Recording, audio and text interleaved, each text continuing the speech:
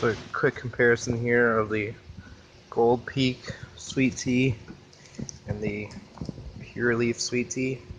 Um, drink a little bit of both. I didn't want it to be all initial reaction. Um, the uh, just took a swig of that one. That's the Pure Leaf. It actually tastes tea. It's like a tea flavor. It's not too strong for me. Um, for some people, it might be a little bit too much tea flavor. Honestly, this Gold Peak. I'll take another swig of this one. Um,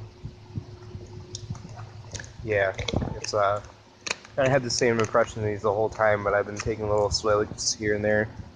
Um, the Gold Peak tastes like sugar water to me by comparison. After drinking this one, um, this just tastes like sweet water. And if you look at, uh, I don't know if it's going to show up too good.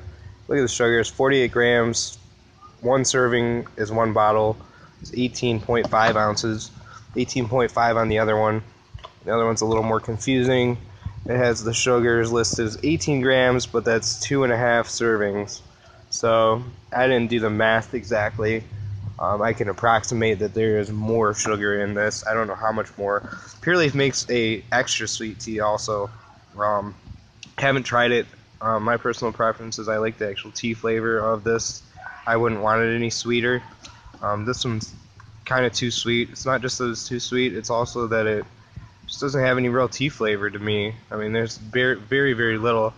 So anyway, just my initial or initial and ongoing uh, reactions to these and my opinions. Um, I don't know what anybody else has found or if they even care to compare these. I just happened to buy both at the gas station. Figured it would be interesting. They both have real sugar, I believe. This one says for sure it does.